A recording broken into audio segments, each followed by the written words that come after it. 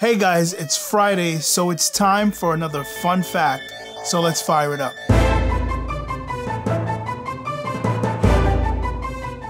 As we come to the end of File Management Week, I want to use this video to put a bow on the entire week of videos as I try to reinforce the importance of file management. So understand this, when you have a set of audio files and you put them in folder A, then you import these files into your DAW for a mixdown. The DAW now knows where the files are.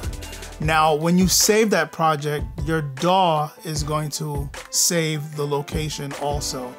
And now it will know where all the files are pertaining to this project. It'll always look into folder A for those files concerning that project.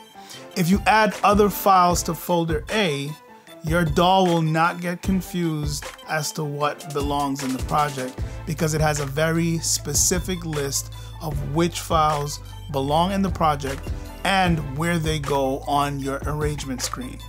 But if you change the name of folder A to say folder 4B, the DAW will no longer be able to find those files because it's looking for the files to be in folder A.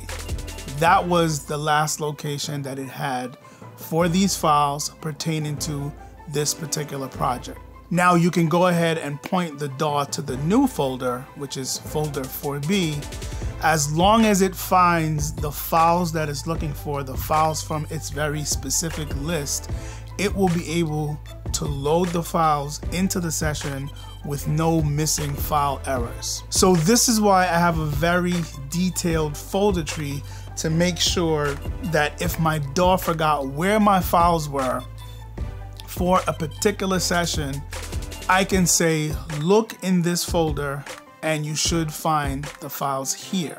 So here's what my folder tree usually looks like for a session. Okay, so here we are. I'm gonna create a standard folder tree that I would or may use for a song, and then we'll tie it all in with post haste and show you the purpose of that.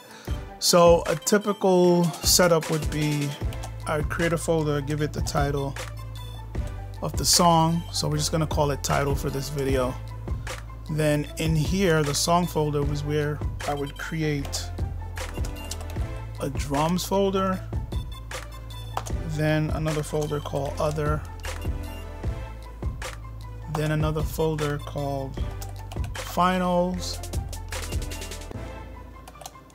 Next folder would be project files. And the last folder will be mixdowns. So the drum folder is pretty self-explanatory. Other would be where I put all my other instruments that are non-drum instruments.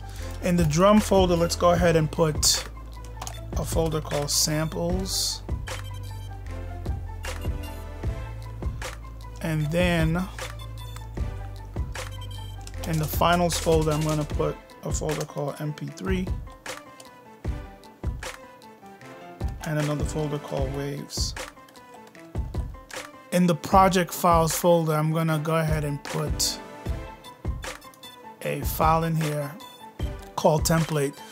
This is a DAW file. It's a template that I created in Studio One that I'm to use when I start recording. So you put it in here and you have to call it template and I'll explain why a little bit later. So we have all our folders created, folders and subfolders. Now, the point of doing this is to keep your files very organized so that when you come back to it later, you know exactly where everything is. And if you have an issue with your software where you did an update and it forgot where the files were, you know exactly where the files are because they're neatly and nicely organized in the project folder. So now creating these folder trees can become tedious every time you want to set up a new song, a new session. So that's where post haste comes in and automates that process for you. So what you would do is you can set up a folder tree template in post haste. So we come here and press this add button to add a new template. Let's call it song. And I'm gonna set it as default. And then you can actually come over here, hit add, and start creating folders like what we just did over here. But there's also a quicker way to do it. So let's do it that way. I'm gonna get rid of this for now. Remove and make sure song is highlighted and then we're gonna go to add. But instead of choosing folder, we're gonna come all the way to the bottom select this option that says import folder structure. And then we're gonna browse to the title folder that we just created. So it should be here in our songs folder. And there it is, title.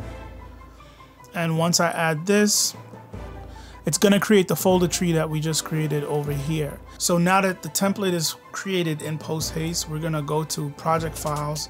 I'm gonna hit add and import files because I wanna import that template that I put in there.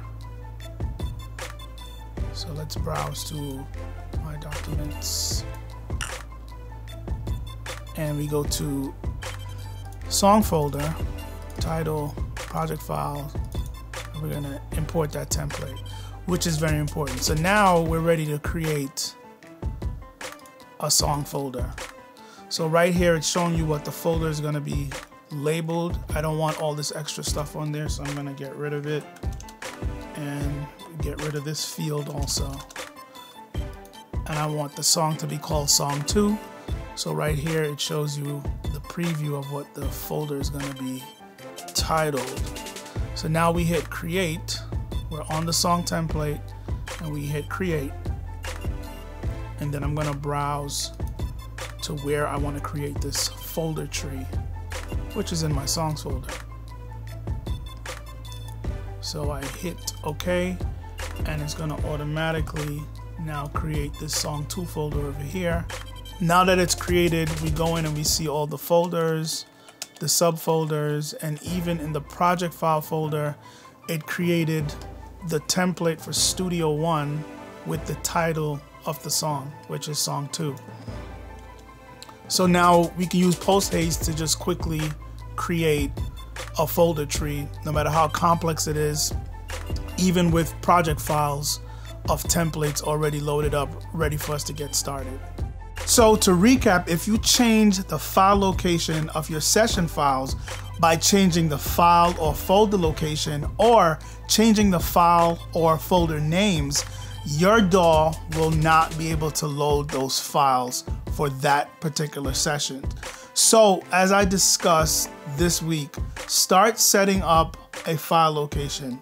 Know where your files are. Set up a file location complete with a detailed folder tree. You can use Post Haste. Remember, it is totally free. And save your work to an external. And don't forget to back up that external also. Okay guys, that was the fun fact for this Friday. Check out the other three videos from earlier this week dealing with file management. Thank you for checking out the video, and as always, you'll see me in the next video.